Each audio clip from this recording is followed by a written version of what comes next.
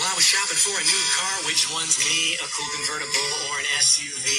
Too bad I didn't know my credit was whack, cause now I'm driving off the lot in a used subcompact F-R-E-E, that spells free. Creditreport.com, baby. Saw their ads on my TV. Thought about going, but was too lazy. Now instead of looking fly, rolling fat. My legs are sticking to the vinyl and my posse's getting laughed at.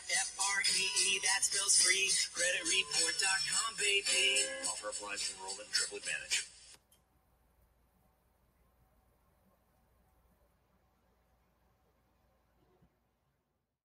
Created using Powtoon.